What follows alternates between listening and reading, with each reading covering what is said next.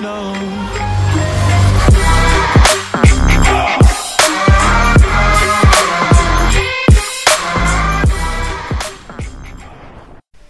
So see this video of my recommended and thought uh share my opinion on it. It's a nice evening, you're playing GTA with a few buddies, and then this happens. Okay, Bandana Squad has already killed someone, so uh, he's clearly a hostile player. If he didn't want to fight, he would be impassive. Surprise, surprise, the guy that kills someone else. It's come to my attention that there's been an increasingly large number of tryhards appearing in GTA lobbies. now it's pretty easy to identify a tryhard, they all dress the same Racism. and all have absolutely no skill. says this guy trying to MG someone that's further than lock-on distance away. So they always seem to go after anyone they deem an easy target. Nope. Tryhards want to go after the tryhards because what's the fun in going against someone that won't even fight back? doing missions or people in organizations. No! The tryhards are the Call of Duty rejects. The people who try hard, like Dirty Worker for example, are actually good at the game. So that's actual tryhards, and the people that you're on about are just the rejects that want to be a tryhards.